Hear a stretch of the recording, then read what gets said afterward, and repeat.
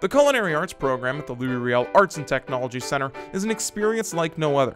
The course will expose you to all introductory aspects of the food service industry. You'll have the chance to plan and prepare meals, cook meats and poultry, prepare salads and vegetables, as well as acquiring the skills and techniques to hone you into the chef you want to be. You get to work in an environment that greatly resembles the food service industry. With tools and equipment that match industry standard, you'll have the best experience possible. You'll also have the opportunity to learn hands-on alongside certified chefs who are both as passionate and excited about the culinary arts as you are.